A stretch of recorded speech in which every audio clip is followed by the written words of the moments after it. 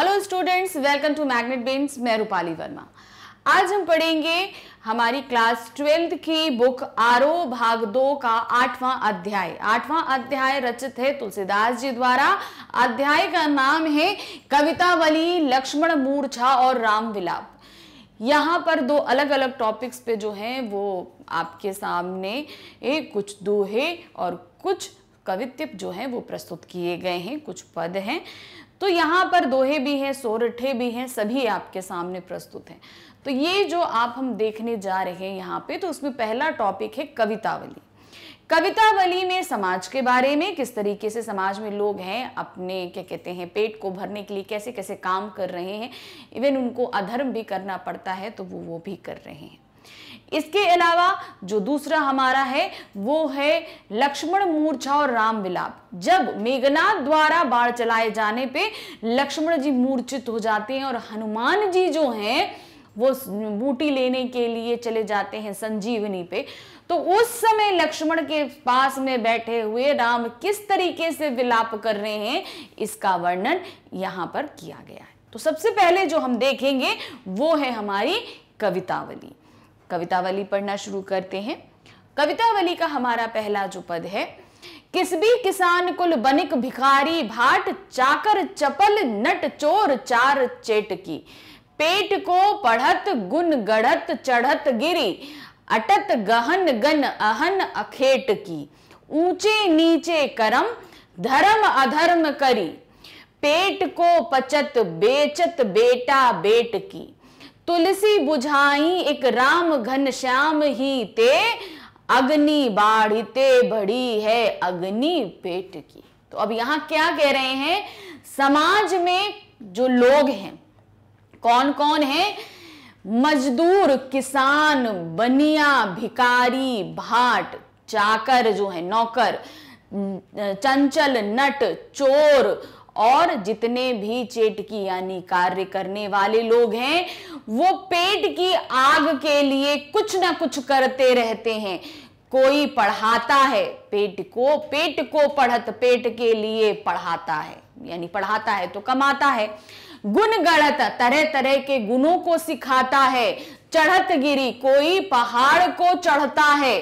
अटत गहन गन अहन अखेट की। और कोई घने घने जंगलों में जाकर आखेट करता है, अर्थात शिकार करता है। तो ये सभी कार्य करने पे इन लोगों के पेट भरते हैं। कार्य करने से धन आता है, पैस फल आते हैं, अनाज आता है, वो खाते हैं और पेट भरता है। ऊँचे नीचे कर्म धर्म अधर्म करी। यानी ऊँचे नीचे कार्य भी करते हैं। यानी कि कोई अच्छे तो कोई बुरे। कोई धर्म का कार्य, कोई अधर्म का कार्य। मतलब इस पेट की आग को बुझाने के लिए सभी तरह के कार्य किए जाते हैं। पेट को पेट ही को पचत बेचत बेटक बेट की और क्या करते हैं? इस पेट की आग को बुझाने के लिए अपने बेटे और बेट की बेटी तक को बेचते हैं। मूलता बेटियों को बेच देते हैं ताकि उनके पेट की आग जो है वो शांत हो सके।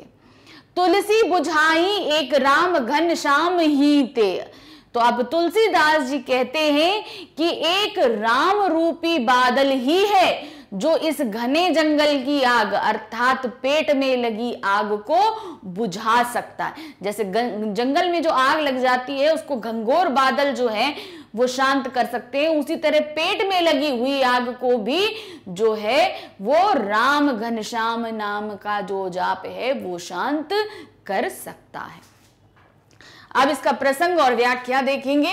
प्रस्तुत कवित्य हमारी पाठ पुस्तक आरोह भाग दो में संकलित कवितावली के उत्तरखंड से उद्धत है। इसके रचयिता तुलसीदास जी हैं। इस कवित्व में कवि ने तत्कालीन सामाजिक और आर्थिक दुर्व्यवस्था का यथार्थ परक चित्रण किया है।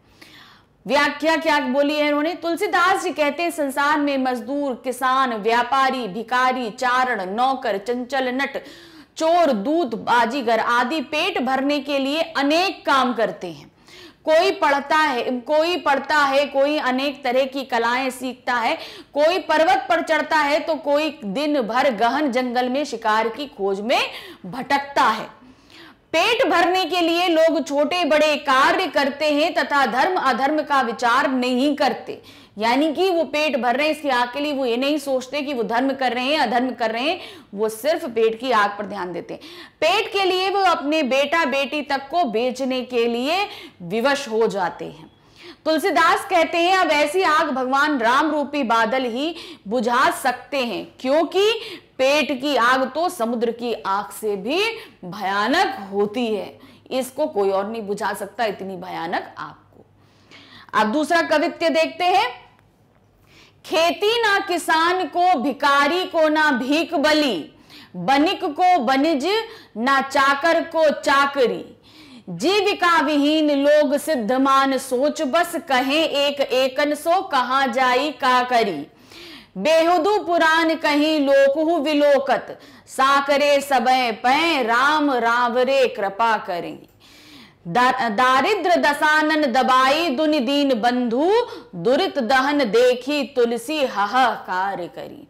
अब क्या बोल रहे हैं इस कवित्व में तुलसीदास जी? खेती करने के लिए किसान के पास खेत नहीं है। भिकारी को भीख नहीं मिल रही और ना ही बलि का भोजन मिल रहा है।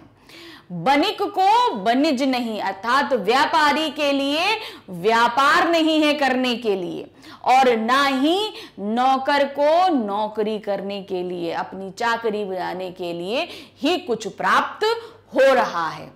जीविका विहीन लोग सिद्धमान सोच रहे। और सभी लोग जिनके पास किसी भी तरह की जीविका नहीं है वो सभी ही विचलित होकर सोच रहे हैं।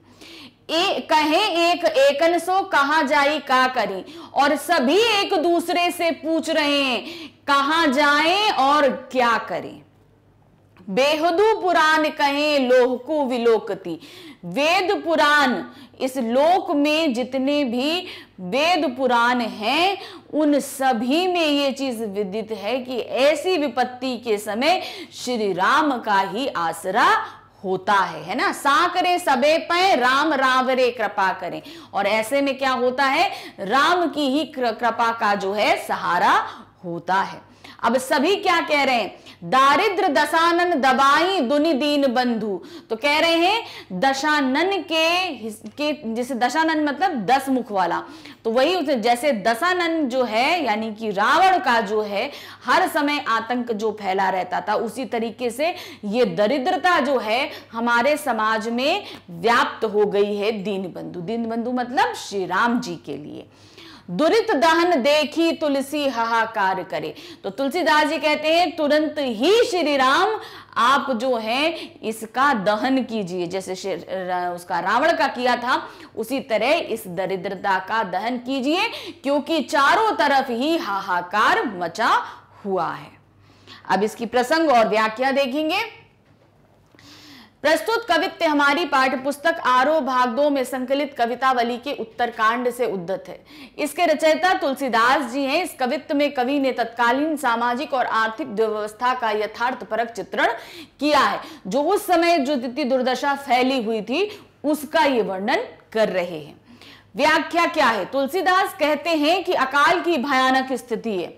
इस समय किसानों की खेती नष्ट हो गई है। उन्हीं खेती में कुछ नहीं मिल पा रहा। कोई भीख मांग कर निर्वाह करना चाहे तो भीख नहीं मिलती। कोई बलि का भोजन भी नहीं देता। व्यापारी को व्यापार का साधन नहीं मिला, नौकर को नौकरी नहीं मिलती। इस प्रकार चारों तरफ़ बेरोजगारी व्याप्त है। आजीविका के साधन ना रहने से लोग दुखी हैं तथा चिंता में डूबे हुए वे एक दूसरे से पूछते हैं, कहाँ जाएँ? क्या करें? वेद पुराणों में ऐसा कहा गया है और लोक में ऐसा देखा गया है कि जब जब भी संकट उपस्थित हुआ है, तब तब राम ने सब पर कृपा करी है। धे दीन बंधु, इस समय दरिद्रता रूपी रावण ने समूचे संसार को त्रस्त कर रखा है। अर्थात सभी गरीबी से पीड़ित हैं। आप तो पापों के नाश करने वाले हैं, चारों तरफ़ हाय हाय मची हुई है। मतलब चारों तरफ़ हाहाकार मची है। एक आप ही इस दरिद्रता से हम लोग को पार कर सकते हैं। अब इसके आगे वाले कवित्व में, इस कवित्व में तुलसीदास जी ने अपने बारे में वर्णित किया है। धूर्त कहे, अब धूर्त कहो। धूर्त कहो, अब धूर्त कहो। राजपूत कहो जुलाहा कहो को। काहू की बेटी सो बेटा ना ब्याहब, काहू की जाति बिगाड़ ना सो तुलसी सर नाम गुलामू, राम को जाको रुचे सो कहे कछु ओ मांगी है खैबो मसीत में सोईबो, लैबो एक ना दैबो को दो। तो अब यहाँ पर तुलसीदास जी अपने बारे में क्या कह रहे हैं? कोई मुझे धूर्त कहे या कोई मुझे अवधूर्त कहे। मतलब कोई मुझे कुछ भी कहे। कोई मुझे राजपुत्र कहे या कोई मुझे जुलाहा कहे। को, क्यों? मुझे इससे कोई फ़र्क नहीं पड़ता, कोई मुझे कुछ भी कहे। क्यों? क्योंकि काहू की बेटी सो बेटो ना ब्याह। क्योंकि मुझे किसी की बेटी से अपने बेटे का ब्याह नहीं करना है। काहू की जाति बिगाड़ना सोही और ना ही किसी की बेटी की मतलब बेटी विवाह करके ना ही मुझे किसी की जाति को बिगाड़ना है। तो यहाँ पर इन्होंने क्यों कहा? क्योंकि वो मदमस्त रहते हैं। तो इन्होंने ये नहीं बोला कि हमारा, अगर मैं गलत तरीके से रह रहा हूँ तो भाई मेरा बेटा बेटी किसी के यहाँ शादी करेगा तो उसकी जाति बिगड़ेगी। तो ऐसा कुछ भी नहीं है। ना मेरे को किसी का विवाह करना है और ना ही मेरे कारण किसी की जाति बिगड़ेगी। तुलसी सरनाम गुलामू राम को। तुलसी जो है, वो सिर्फ़ गुलाम है, एक नाम का, वो नाम है श्री राम। जाको रुचे सो कहे, कछु होय और मैं उसी की आराधना में लगा रहता हूँ, चाहे कोई कुछ भी कहे। मांगी को खैबो मतलब मैं मांग कर खाता हूँ। मसीत को सोईबो, मस्जिद में सोता हूँ। लेबो को एक ना, दैबो को दो। ना लेना किसी से एक है, ना देना किसी को दो है। यानी कि मैं मदमस्त होकर जीता हूँ और सिर्फ़ श्री राम की आराधना करता हूँ। मुझे से, मुझे इस संसार से कोई भी मतलब नहीं है। अब इस कवित्व का पहले प्रसंग देखेंगे और फिर व्याख्या। प्रस्तुत कवित्व हमारी पाठ पुस्तक आरोह भाग दो में संकलित कवितावली के उत्तरकांड से उद्धत है। इसके रचयिता तुलसीदास हैं। इस कवित्व में कवि ने तत्कालीन सामाजिक व आर्थिक दुर्व्यवस्था का यथार्थ परक चित्रण किया है। व्याख्या क्या है? कवि समाज में व्याप्त जातिवाद और धर्म का खंडन करते हुए कहता है कि वह श्री राम का भक्त है। कवि आगे कहता है कि समाज चाहे मुझे धूर्त कहे, पाखंडी कहे, सन्यासी कहे, बाज कहे या जुलाहा कहे, मुझे इन सबसे कोई भी फ़र्क नहीं पड़ता है। मुझे अपनी जाति के नाम की कोई भी चिंता नहीं है, क्योंकि मुझे किसी की बेटी से अपने बेटे का विवाह नहीं करना है, और ना ही किसी की जाति बिगाड़ने का शौक है। तुलसीदास का कहना है कि मैं राम का गुलाम हूँ, उसमें पूर्णता समर्पित हूँ। अतः जिसे मेरे बारे में जो अच्छा लगे, वह कह सकता है। मैं मांग कर खा सकता हूँ, मस्जिद में सो सकता हूँ, तथा मुझे किसी से कुछ लेना देना नहीं है। संक्षेप में कवि का समाज से कोई संबंध नहीं है, वह राम को, राम का समर्पित भक्त है। यानी कि जो धर्म आपाखंड है, वो सिर्फ़ आप अपने पास रखिए, मुझे इससे कोई भी जो, सरोकार नहीं है। अब इसके आगे हमारा शुरू होता है लक्ष्मण, मूर्छा और राम विलाप। अब लक्ष्य जो हनुमान जी हैं वो संजीवनी लेने जब गए तो वहाँ सबसे पहले उनकी मुलाकात भरत जी से हुई संजीवनी मिली और भरत जी से मुलाकात हुई। अब वहीं से ये चीज़ शुरू हो रही है। क्या दिया? तब प्रताप उर राखे प्रभु जय नाक तुरंग। अस काही असुपाई पा, पाई पद बंदी चलित हनुमान। भरत बाहुबलशील गुण प्रभु पद प्रीति अपार। मन मनहु जात सराहत पुनि पुनि पवन कुमार। तो अब यहाँ पर कह रहे हैं, तब प्रताप उर राखें और उनके प्रताप, यानी भरत जी के प्रताप को मन में बसाकर। भाई, भरत जी भी तो बहुत बलशाली थे, बहुत प्रतापी थे। तो उनके प्रताप को मन में बसाकर जयहू नाक तुरंग, और जैसे घोड़ा चलता है, वैसे ही रफ्तार से वो चलते हैं। अस काही आयुष पाई पद, और उनके पदों की वंदना करके, अर्थात भरत जी के पैरों की वंदना करके, वो एक घोड़े की गति से वहाँ से निकलते हैं। बंदे चले हनुमान। बंदन करके उनके चरणों का वो वहाँ से निकलते हैं। भरत बाहुबलशील गुण प्रभु पद प्रीति अपार। और क्या है? भरत के गुण, उनके प्रताप और प्रभु के पदों की वंदना की याद को मन में समा के। मन मनहू जात सराहत, और मन ही मन में बार बार जो है हनुमान भरत की जो है वंदना करते हुए वहाँ से निकल चलते हैं। अब प्रसंग क्या है इसका? प्रस्तुत काव्यांश हमारी पाठ पुस्तक आरोह भाग दो में संकलित लक्ष्मण मूर्छा और राम विलाप प्रसंग से उद्धत है। यह प्रसंग रामचरितमानस के लंका कांड से लिया गया है। लंका कांड से ध्यान रखिएगा कहाँ से आ रहा है। इसके रचयिता कवि तुलसीदास हैं। इस प्रसंग में लक्ष्मण मूर्छा पर राम के करुणा विलाप का वर्णन किया गया है। बहुत ही ध्यान से छोटी छोटी चीज़ें हैं। जैसे अभी हमने कवित्व पढ़े थे, कवितावली के, उसमें क्या चीज़ बताई गई। ये कहाँ से लिए गए हैं? लंका कांड से। ये सब चीज़ें याद रखिएगा क्योंकि ये एमसीक्यूज बेस्ड क्वेश्चंस पूछे जा सकते हैं आपसे। इसलिए हम बोल रहे हैं, जो भी आप पढ़ेंगे, बहुत ध्यान से हर एक चीज़ को समझते चलिएगा। व्याख्या के, हे नाथ, हे प्रभु, मैं आपका प्रताप हृदय में रखकर तुरंग तुरंत यानी समय से वहाँ पहुँच जाऊँगा। ऐसा कहकर और भरत जी से आज्ञा लेकर उनके चरणों की वंदना करके हनुमान जी चल दिए। भरत के शील स्वभाव तथा प्रभु के चरणों में उनकी अपार भक्ति को मन में बार बार सराहते हुए हनुमान बूटी लेकर लंका की तरफ़ चले जा रहे थे। मतलब उन्होंने वहाँ पर उनके पैरों की वंदना करी। अब उन्होंने संजीवनी ले ली, भरत के पैरों की वंदना करी और वो वहाँ से चलते हैं। तो उनके मन में क्या रहता है? भरत का ही जो वो गुणगान मन में गाते हुए चले जाते जैसे श्री राम के भक्त हनुमान हैं, उसी तरह भरत भी श्री राम के ही भक्त हैं। तो भाई भक्त भक्त हैं, दोनों के आराध्य की हैं। तो उसी तरीके से उनके गुणगान करते हुए हनुमान जी समुद्र पार करते हुए लंका की तरफ़ चले आ रहे हैं। अब कहाँ पर होता है? अब उधर लक्ष्मण जी मूर्छित पड़े हैं, श्री राम जी विलाप कर रहे हैं। मतलब रो रहे हैं। क्या क्या बोल रहे हैं, अपने आप को कोस रहे हैं, वो सभी यहाँ पर वर्ण।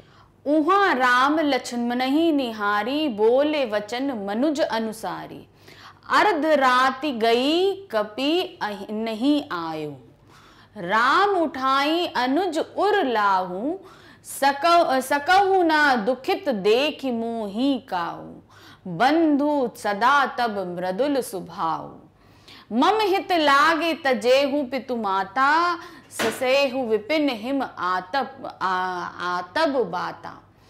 सो अनुराग कहाँ अब भाई, उठे सब, उठे ना सुनी मम वचन विकलाई। जो जन तेहु, वन बंधु बिछोहु, पिता वचन मन तेहु नहीं ओहु।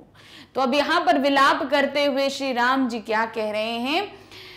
उहा राम, वहाँ पर क्या है? राम जी जो है, लक्ष्मण जी को निहार रहे हैं। वहाँ पर निहार रहे हैं, देख रहे हैं। लक्ष्मण जी तो मूर्छित पड़े हुए हैं और राम जी लक्ष्मण जी को निहार रहे हैं, लगातार देखते जा रहे हैं। बोले वचन मनुज अनुसारी। और फिर वो बोलते हैं, यानी कि श्री राम जी बोलना शुरू करते हैं। अर्ध रात्रि गई, कपि नहीं आऊँ। मतलब आधा रात बीत गई है, कपि अर्थात हनुमान जो हैं, अभी तक नहीं आए हैं। राम उठाए अनुर अनुज उर लगाए। और राम जी जो है, लक्ष्मण जी, अनुज मतलब अपने छोटे भाई को उठाकर अपने हृदय से लगा लेते हैं। सकहू ना दुखित देखी मुहि काहू। तुम क्या है, तुम मुझे कभी भी दुखी नहीं देख पाते थे। बंधु सता, सदा तब मृदुल स्वभाव बंधु तुम्हारा यानी कि जो लक्ष्मण जी हैं, उसको, उनको बोलते हैं कि, बंधु यानी कि भाई, तुम्हारा जो स्वभाव है, वो बहुत ही मृदुल था, अर्थात कोमल था मेरे लिए। मम हित लागे तजेहू पितु माता। और मेरे लिए जो है, तुमने अपने माता पिता का भी त्याग कर दिया। मतलब श्री राम जी के लिए तो माता और पिता को त्याग कर वन में चले आते हैं। ससेहु विपिन हिम आतप प्राता। और तुमने यहाँ पर वन वन की जो है, जितनी कठिन परिस्थितियाँ हैं ठंडक है, गर्मी है, इन सभी को स्वीकार कर लिया। माता पिता को त्याग कर यहाँ के कठिन जीवन को तुमने मेरे लिए स्वीकार किया। सो अनुराग, कहा अब भाई? तो वो तुम्हारा प्यार अब कहाँ है भाई? उठाई ना सुने मम वचन विकलाई, और तुम मेरे इतने वचन सुनने के बाद भी विचलित होकर क्यों नहीं उठ रहे हो?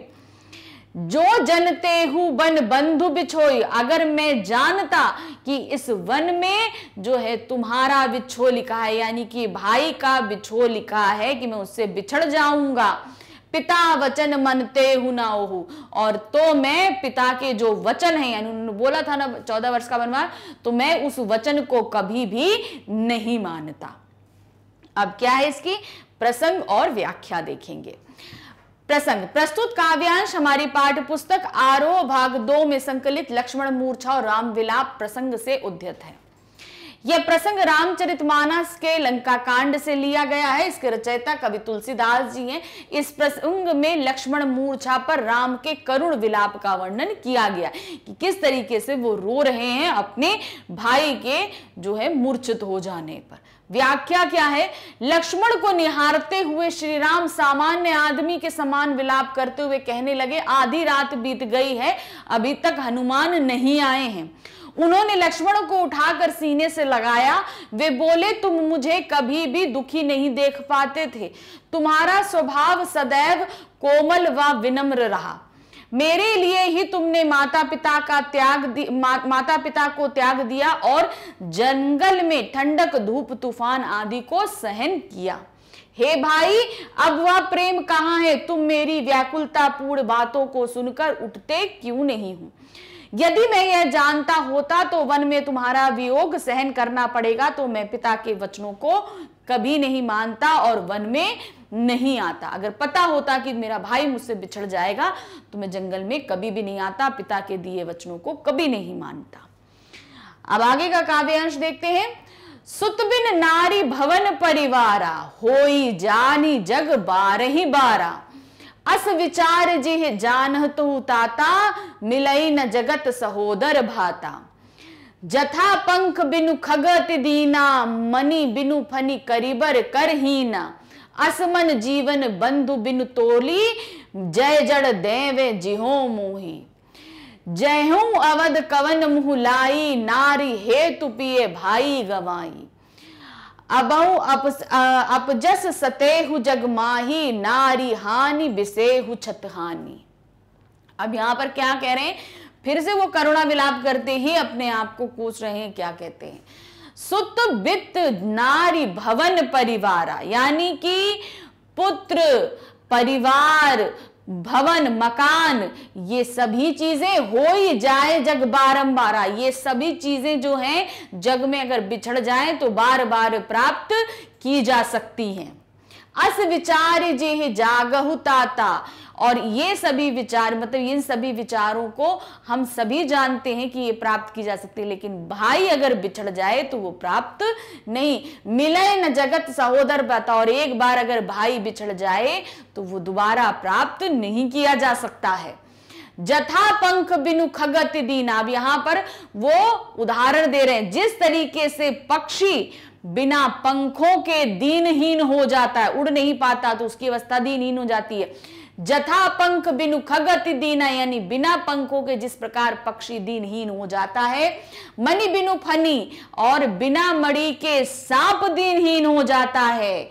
करीबर करहीना और जो हाथी है, वो बिना सूढ़ के जिस प्रकार हीन दशा में हो जाता है, उसी प्रकार असमन जीवन बंधु बेतोली उसी तरीके से बंधु यानी कि भाई, तुम्हारे बगैर मेरा जीवन दीनहीन है।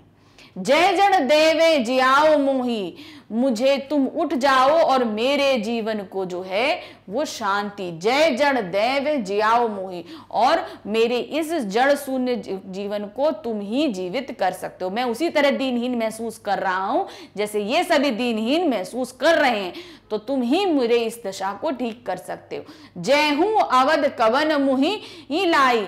मैं अवध यानी कि वापस अयोध्या कैसा मुँह लेकर जाऊँगा? नारी हेतु पिए भाई गए। वहाँ पर सभी लोग बोलेंगे कि पत्नी के खातिर अपने भाई को तुमने गंवा दिया।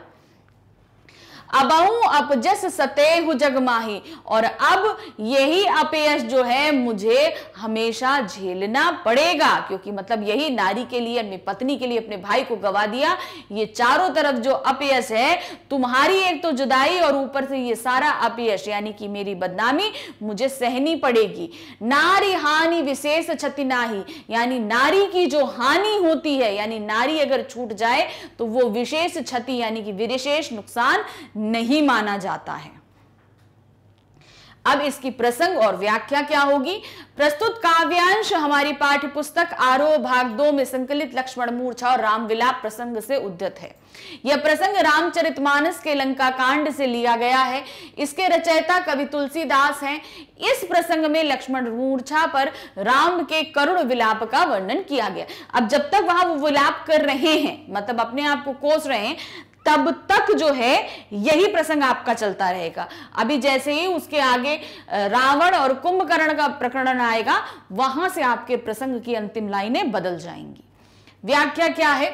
श्री राम व्याकुल होकर कहते हैं कि संसार में पुत्र, धन, स्त्री, भवन और परिवार बार बार मिल जाते हैं और नष्ट हो जाते हैं। किंतु संसार में सगा भाई दोबारा नहीं मिलता। यह विचार करके, हे तात, तुम जाग जाओ। ये तुम जानते हो, इसलिए तुम उठ जाओ। हे लक्ष्मण, जिस प्रकार पंख के बिना, पक्षी, मणि के बिना, सांप, सूर के बिना, हाथी अत्यंत दीनहीन हो जाते हैं, उसी प्रकार तुम्हारे बिना मेरा जीवन व्यर्थ है। हे भाई हे भाई, तुम्हारे बिना यदि भाग्य मुझे जीवित रखेगा तो मेरा जीवन भी पंख विहीन व्यक्षी मणि विहीन सांप और सूण विहीन हाथी के समान हो जाएगा। मतलब तुम नहीं रहोगे और मैं जीवित रहूँगा तो मेरी दशा भी ऐसी ही हो जाएगी। राम चिंता करते हैं कि वे कौन सा मुँह लेकर अयोध्या जाएँगे। लोग कहेंगे कि पत्नी के लिए प्रिय भाई को खो दिया। मैं पत्नी के खोने का अपयश सहन कर लेता ले, क्योंकि नारी की हानि विशेष नहीं होती है। यानी कि अगर मेरी पत्नी खो गई थी तो ये अपयश मैं सहन कर सकता था, क्योंकि नारी का छूट जाना ये ज़्यादा विशेष नहीं होता है। अब इसके आगे का इनका देखेंगे, और क्या बोल रहे हैं? अब पर लोक शोक सुत तोरा, सहिस निष्ठुर कठोर उर मोरा। निज जननी एक कुम्हारा, तात तास तुम प्राण अधारा। सौपहि मोहि तुम्हें गही पानी सब विधि सुखत परम हित जानी। उतहु कहा दोहू ते ही जानी उठी किन मोहि सिख, सिखा बहु भाई। बहु विधि सोचत सोच विमोचन स्वत सलिल राजीव दल लोचन। उमा एक अखंड रघुराई नर गति भगत कृपाल दिखाई। तो अब इस वाले छंद में क्या बोल रहे हैं? अब परलोक सुत, सोकु सुत तोरा। अब कह रहे हैं, सभी जगह जो है, मेरा अपयश होगा, क्योंकि तुम नहीं हो। ये चीज़ का मुझे बड़ा दुख होगा। सही से निष्ठुर, कठोर उन मेरा और मेरा जो तुम्हारा हृदय है, मैं इतना विलाप कर रहा हूँ, तुम रो रहे हो, मेरा, तुम्हारा हृदय अब कितना कठोर हो गया, मेरे विलाप से भी वो जाग नहीं रहा है। निज जननी एक कुमारा मतलब तुम अपनी जननी के एक ही कुमार हो। ठीक है? तुम अपनी जननी के एक ही कुमार हो। तात तास तुम प्राण आधारा और तुम पिता के तो हे भाई। तुम्हारे तुम्हारे ही कारण जो है, तुम्हारे माता में तुम्हारे प्राण बसते हैं। तुम, तुम्हारे अंदर तुम्हारी माता के जो हैं, वो प्राण बसते हैं। सौपे मोह तुम्हें गही पानी और उन्होंने मुझे अपना सब कुछ भला समझ के ही तुम्हें मुझे सौंपा था। सब विधि सुखद परम जानी। मतलब मैं पूरी तरीके से तुम्हारी सुख सुविधा तुम्हारी अच्छी ध्यान रखूँगा यही सो, सोचकर उन्होंने मुझे तुमको सौंपा था। उतहू का देहू ते जाई उठी कहीं मुही सिखाऊ भाई। तो क्या कह रहे हैं? इतना मैं विलाप मैं बोल रहा हूँ तुम उठ जाओ भाई। भाई अपने मतलब लक्ष्मण जी से उठने के लिए बोल रहे हैं। उठी किन मोही सिखाओ भाई। और तुम उठ जाओ और मुझे जो है अपने हँसते हुए मुख को दिखाओ। बहुविधि सोचत सोच विमचोना। मतलब बार बार तरह तरह से जो है वो श्री राम सोच विचार करके जो है रो तरह तरह से सोच विचार करने लगते हैं। स्वतः सलिल राजीव दल लोचन और इसी तरीके से सोचते सोचते अपने आप ही उनके आँखों में जो है आँसू आ जाते हैं। उमा एक अखंड रघुराई। यानी कि जो है सीता जी के लिए जो है यहाँ पर अपने भाई के लिए, ये सभी के लिए श्री राम रो रहे थे। उमा मतलब सीता जी और श्री लक्ष्मण के लिए रघु, रघुर जी रो रहे थे। नरगति भगत कृपाल दिखाई। और इतने में ही क्या होता है, जो है, वहाँ पर हनुमान जी आ जाते हैं। सोच के रो ही रहे होते तब तक हनुमान जी वहाँ पर प्रकट हो जाते हैं। वहाँ पर जितने लोग थे, सभी व्याकुल थे और हनुमान जी वहाँ पर आ जाते। तो सभी जो परिदृश्य होता है, वहाँ पर बदलने लगता है। अब पहले प्रसंग देखेंगे। प्रस्तुत काव्यांश हमारी पाठ पुस्तक आरा आरो भाग दो में संकलित लक्ष्मण मूर्छा और राम विलाप प्रसंग से उद्धत है। यह प्रसंग रामचरित मानस के लंका कांड से लिया गया है। इसके रचयिता कवि तुलसीदास है। इस प्रसंग में लक्ष्मण मूर्छा पर राम के विलाप व हनुमान के ए वापस आने का वर्णन है। राम विलाप भी कर रहे हैं और हनुमान वापस आ गए। इसका वर्णन भी है। लक्ष्मण के होश में ना आने पर राम विलाप करते हुए कहते हैं, मेरा निष्ठुर व कठोर हृदय अपयस और तुम्हारा शोक दोनों सहन करेगा। हे तात, तुम अपनी माता के एक ही पुत्र हो, उनके प्राणों के आधार हो। उसने सब प्रकार से सुख देने वाला देने वाला तथा परम हितकारी, जानकर ही तुम्हें मुझे सौंपा था। अब उन्हें मैं क्या उत्तर दूँगा?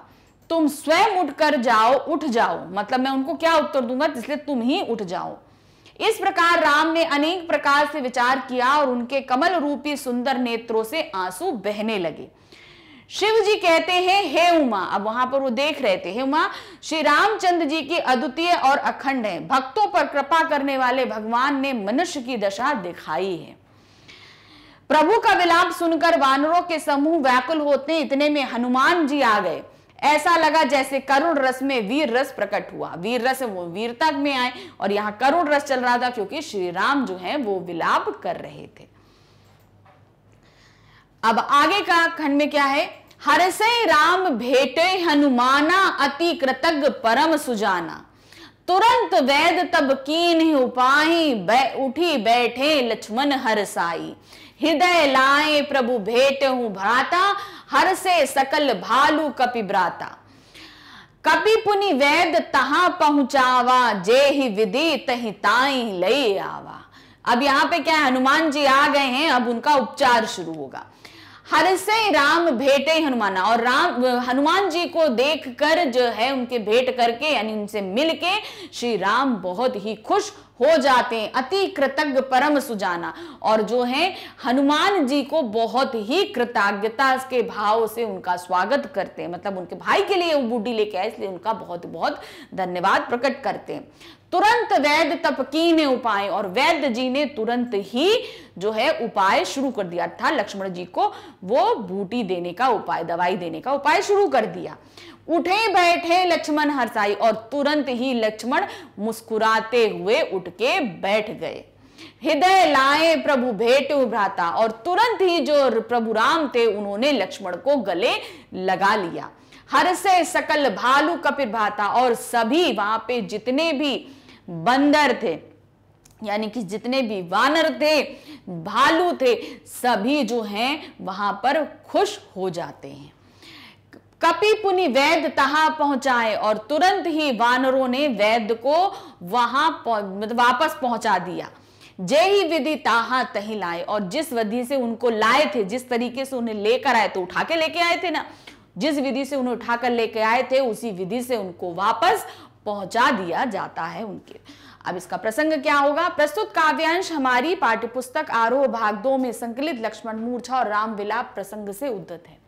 यह प्रसंग रामचरितमानस के लंका कांड से लिया गया है। इसके रचयिता कवि तुलसीदास हैं। इस प्रसंग में लक्ष्मण के स्वस्थ होकर उठने तथा सभी की प्रसन्नता का वर्णन किया गया है। व्याख्या क्या होगी? हनुमान के आने पर राम ने प्रसन्न होकर उन्हें गले लगा लिया। परम चतुर एवं समझदार व्यक्ति की तरह भगवान राम ने हनुमान के प्रति अपनी कृतज्ञता प्रकट की। वैद्य ने शीघ्र ही उपचार किया, जिससे लक्ष्मण उठकर बैठ गए और बहुत प्रसन्न हुए। लक्ष्मण को राम ने गले से लगाया। इस दृश्य को देखकर भालुओं, वानरों के समूह में खुशी छा गई।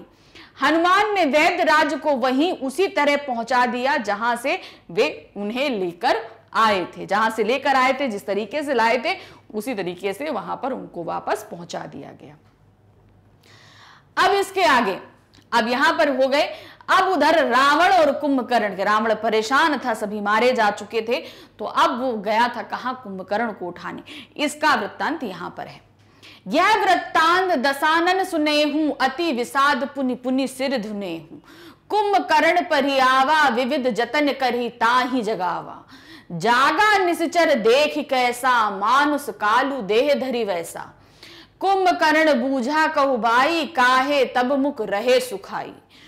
तो अब ये जो लक्ष्मण जी को वापस जो है, मूर्छा से वापस आने का जितना भी प्रकरण था, ये सारा प्रकरण जो है, वो दशानन को सुनाया जाता है। अर्थात रावण को ये सारा वृत्तांत सुनाया जाता है। यह वृत्तांत, दशानन सुनाए मतलब लक्ष्मण जी के उठने का जितना वृत्तांत होता है, ये रावण को सुनाया जाता अति विषाद पुनि पुनि सर धिने हूँ। और ये सब सुनकर वो बहुत ही, जो है, दुखी होता है और बार बार अपने सिर को धुनता है कि अब वो क्या करे। कुंभकर्ण पहियावा ये करते हुए, सिर धुनते हुए पछतावा करते हुए मतलब अब क्या करे वो? ये चीज़ें करते हुए उसने वो कुंभकर्ण के पास आया। विविध जतन करी, ता ही जगावा। और बहुत बहुत तरह के जतन करके उसको उठाया गया, क्योंकि वो छह महीने सोता था, छह महीने जागता था, अभी उसका सोने का समय था।